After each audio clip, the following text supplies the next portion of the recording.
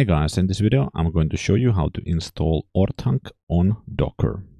This installation will be done on a Linux machine which already has Docker installed. If you need help installing Docker, there will be a link down below in the description. For the Orthanc installation, we will be following the instructions on my Open Integrator community. Here in the community post, we have the instructions and I'll leave a link down below in the description. The first link here in the instructions is pointing to the Orthanc book and the website includes instructions for Docker installation, but this web page itself does not include a clear Docker compose file which you can use as if as is including for example an OHIF viewer. So instead um, I, I, found a link here which is pointing to the Orthanc GitHub page and there is an Orthanc uh, setup samples page here which is giving um, some getting started um, Docker Compose packages with different com uh, with different included integrations. So the one which I'm most interested in is the OHIF viewer integration. So here in the sample, it's explaining that installing two Orthanc containers, one with an OHIF plugin included inside the container and another Orthanc um, container which is pointing to an, a separate OHIF container. And here it's instructing just to start the setup with the docker compose and then you have the two urls but if we actually check the docker compose file we get a bit more clarity on what it's doing. Uh, so first there's an nginx container, then we have an OHIF container, and this is built when this Docker Compose is um, executed. Of course, you could leave this out if you don't want both Orthanc containers, but I'm just going to install this now as is in the example. And the, then the, there's the Orthanc container, which is um, being integrated with this separate OHIF container. And here we have the URL to the uh, to OHIF and it's pointing to the Postgres database here for Orthanc and then there is the other Orthanc container which is including the OHIF plugin so to my understanding in this case OHIF is running inside this Orthanc container. And here we have the URL to the OHIF. When, when OHIF is started, that's the path which it's using. And then it's again pointing to the same Postgres database. So even though it's two OHIF, uh, sorry, two Orthanc containers, both will use the same database. There's only one database being installed here and only one Orthanc storage. Also, like DICOM files will be shared between the two. And one thing to note here also is that since this is building the OHIF container, would you also need the dependencies which are included here. So there's an nginx docker file here and there is an OHIF folder with a Docker file for the OHIF container. So this is building the, the OHIF container on the fly. And there is the,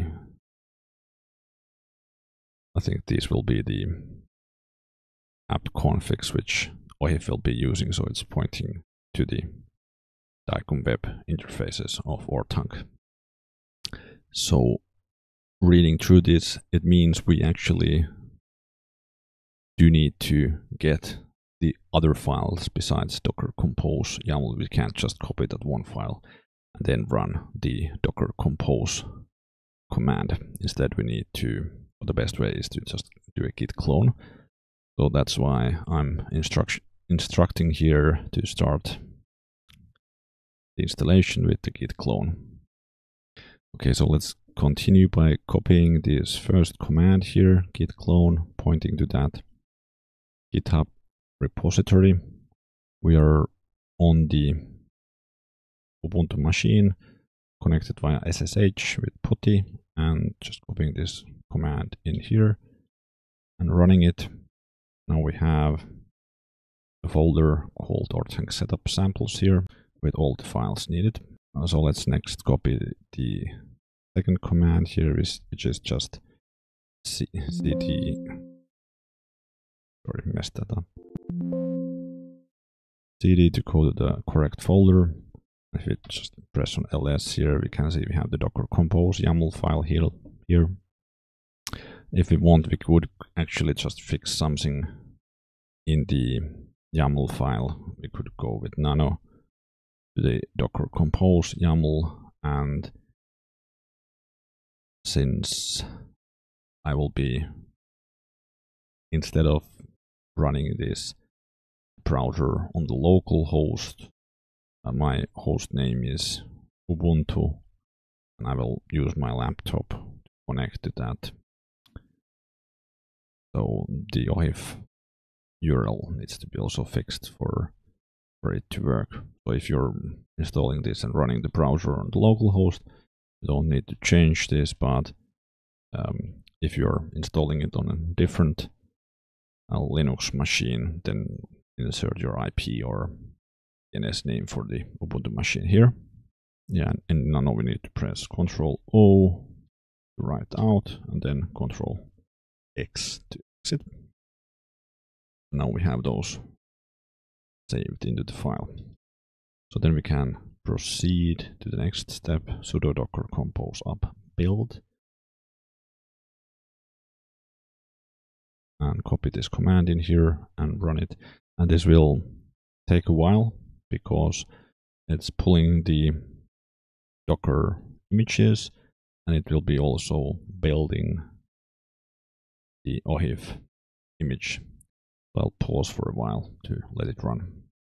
Okay, now the build process is ready and all the Docker containers are started. And if we go into Portainer, if you don't have Portainer installed, that this is a very handy user interface, web-based user interface for Docker. Leave a link down below in the description for my installation instructions on it. So anyhow, doc, uh, Portainer shows that we have a new stack called OHIF, and this is the stack which has now the Orthanc container and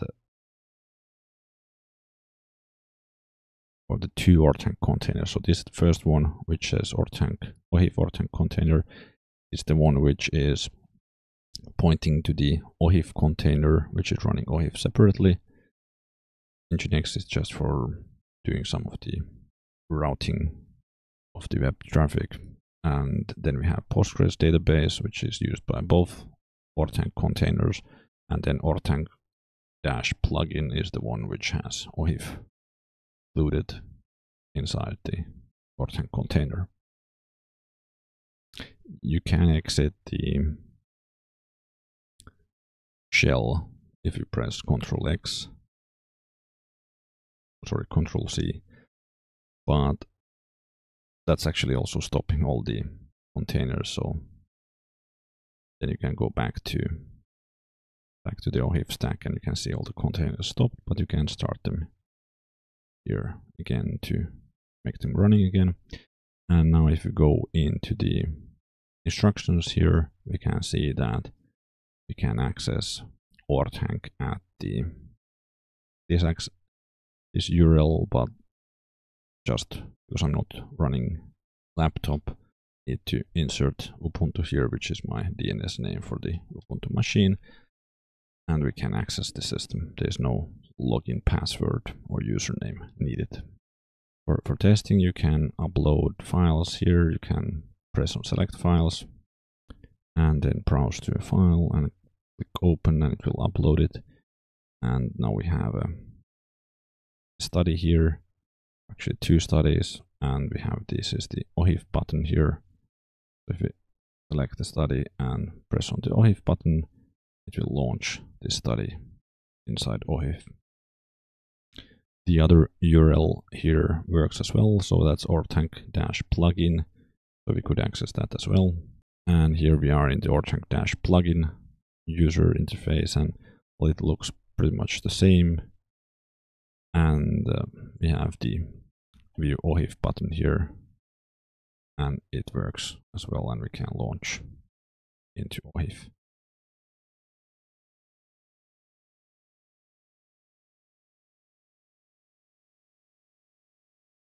the other study as well. And it works as well. If you found this video helpful, please give it a thumbs up. And if you have some questions or comments, please leave those in the community linked down below. Thanks for watching.